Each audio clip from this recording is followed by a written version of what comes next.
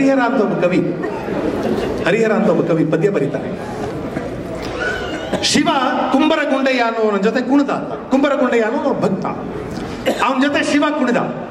ಶಿವ ಕುಣಿದ ಅನ್ನೋದನ್ನ ಬರೀ ಮಾತುಗಳಲ್ಲಿ ಕಟ್ತಾನೆ ಮಾತುಗಳಲ್ಲಿ ಕಟ್ತಾನೆ ಶಿವ ಹೊರಗೆ ಬಂದಂತೆ ಗುಡಿಯಿಂದ ಹೊರಕ್ಕೆ ಬಂದ, ಹೊರಕ್ಕೆ ಬಂದ್ರೆ ಶಿವ ಕುಣಿಯುವುದಕ್ಕೆ ಈ ಸಾಮಾನ್ಯ ರಂಗಸ್ಥಳ ಸಾಕಾಗೋದಿಲ್ಲ. ಅದಕ್ಕೆ ಒಂದು ಪಾದದಿಂದ ಭೂಮಿಯನ್ನು ಒತ್ತಿ ಪಾತಾಳಕ್ಕೆ ತಳ್ಳಿ, ಇನ್ನೊಂದು ಪಾದದಿಂದ ಆಕಾಶವನ್ನು ಎತ್ತಿ, ಇನ್ನೂ ದೊಡ್ಡದೊಂದು ರಂಗಸ್ಥಳ ಸೃಷ್ಟಿ ಮಾಡಿಕೊಂಡು ಕುಣಿಯೋದಕ್ಕೆ ಶುರು ಮಾಡ್ದ.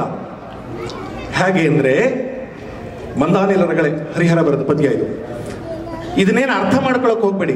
ಸುಮ್ಮನೆ ಕೇಳಿ ಮಾತನ್ನ ಎಷ್ಟು ಚೆನ್ನಾಗಿ ಕಟ್ತಾನೆ ಆಡುವ ಗುಂಡಯ್ಯನ ಹೊಸ ನೃತ್ಯಂ. ನೋಡುವ ಶಿವನ ಮುಟ್ಟಿತು ಸತ್ಯಂ. ಒಳಗಾಡಿದೆನೆನುತ್ತುಂ ದಿನವೆನುತ್ತುಂ ಇಳೆಯರಿಯಲ್ಲೂ ಹೊರಗಾಡುವೆನೆನುತ್ತುಂ ಈ ಶುರು ಮಾಡ್ತಾರೆ. ಹಾಗೆ ದಶಭುಜ ಮಂದಿಕ್ ತಟಕಂ ಪಸರಿಸಿ ಎಸೆವ ಕರಂಗಳ ನೆತ್ತಲ್ ನೇಮಿಸಿ ಒಂದು ಪದಂಪ ತಾಳವನೊತ್ತಲ್ ಒಂದು ಪದಂ ಬ್ರಹ್ಮಾಂಡವನೆತ್ತಲ್ ಜಡೆಗಳು ಬೆಂಬಳಿ ವಿಡಿದಾಡುತ್ತಿರೆ, ಮುಡಿಯೊಳು ಸುರನದಿ ತುಳುಕಾಡುತ್ತಿರೆ, ಕಡುಚಲ್ ಬಳಕಂ ಕುಣಿದಾಡುತ್ತಿರೆ ಮಿಸುಕುವ ಠಮರುಗ ಢಣ್ಣನ್ ಢಣಲನೆ ತಿಸುಳದೆ ಹರಿಯುವ ತಾರಂತಿರ್ರನೆ. ತಿರುಗುತ್ತಿರೆ ಹೈಗಳು ಎಡೆಯತ್ತಲ್ ಕರಿಯ ತೋಲ್ನ ಭವಂ ಹರಿಸಲ್ ಸರಸಜ ಭವನ ಶಿರಂಬು ಬಿಡುತ್ತಿರೆ ಸುರರ ಶಿರೋಮಾಲೆಗಳು ಉಲುಗುತ್ತಿರೆ ಪೊಂಗೆಜ್ಜೆಗಳ ರವಂ ಗುಲುಗುಲು ಗುಲುಕಿನ ದೊಂಗಲ ಗಂಟೆ ಡಣಂ ಡಣ ರಣಲನೆ ಆಡಿದ ನಾಡಿದ ನಾಡಿದ ನಾಡಿದನ್, ಆಡಿದ ನಾಡಿದನ್ ಆಹಾಶಂಕರ ಆಡಿದನ ಗುಂಡನ ಮುಂದೇಶ್ವರ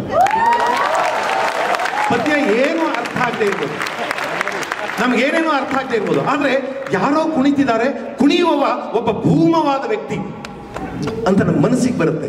ನಮ್ಮ ನಮ್ಮ ಮಾತುಗಳಲ್ಲಿ ಅಂತ ಸೌಂದರ್ಯವನ್ನು ಕಟ್ಟೋದಿದೆಯಲ್ಲ ಅದೊಂದು ಅದ್ಭುತವಾದ ಅನುಭವ. ಅದೊಂದು ಅದ್ಭುತವಾದ ಅನುಭವ. ಅಡಿಯ ಹೆಜ್ಜೆ, ನಡುಗೆ ಗೆಜ್ಜೆ ಇಡುತ್ತ ಸುಗ್ಗಿ ಬರುತ್ತಿದೆ. ಸುಗ್ಗಿ ಬರೆ, ಹಿಕ್ಕಿ ತಿರೆ, ಸ್ವಕ್ಕ ಸುಖವ ತರು ತರುತ್ತಿದೆ.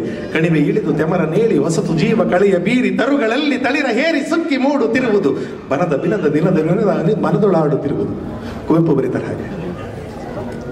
ಸಾಧಾರಣ ನಾವು ನೀವು ಬಳಸುವಂತ ಮಾತುಗಳನ್ನ ಇಷ್ಟು ಸೃಷ್ಟ್ಯಾತ್ಮಕವಾಗಿ ಬಳಸೋದಿದೆಯಲ್ಲ, ಅಲ್ಲಿ ಒಬ್ಬ ಕಲಾವಿದ ಇದ್ದ